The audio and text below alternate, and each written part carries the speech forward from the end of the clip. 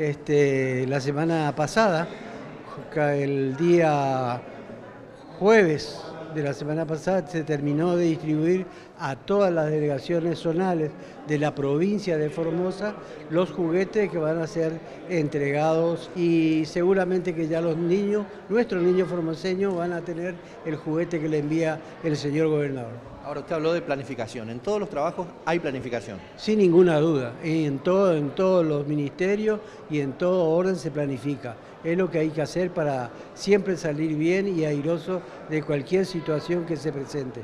Como en este caso que hay que este, adelantarse, por ejemplo, a factor tiempo, buen tiempo para que eso llegue a lo más recóndito de la provincia de Formosa. Hoy participando de esta reunión organizativa que ya le estábamos esperando y que nuestro gobernador ya nos acostumbrado también que en cada evento llega el juguete para la alegría de nuestros niños. Entonces, este, hoy organizándonos para la entrega que comienza mañana con la entrega a los referentes, a los, este, responsables de cada jurisdicción.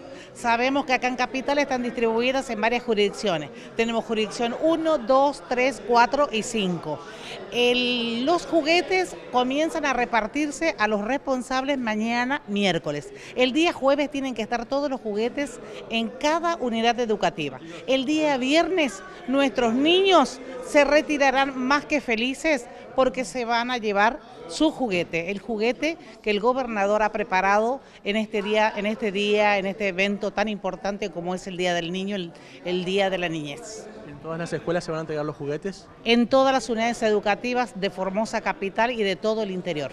¿Ya se están preparando los docentes para la entrega? Por supuesto que sí, como siempre. Los docentes siempre organizados trabajan eh, teniendo en cuenta el registro, así que el niño que por ahí el viernes, por X motivo, porque está enfermito, pasó algo que no pudo asistir, el maestro guarda el juguete.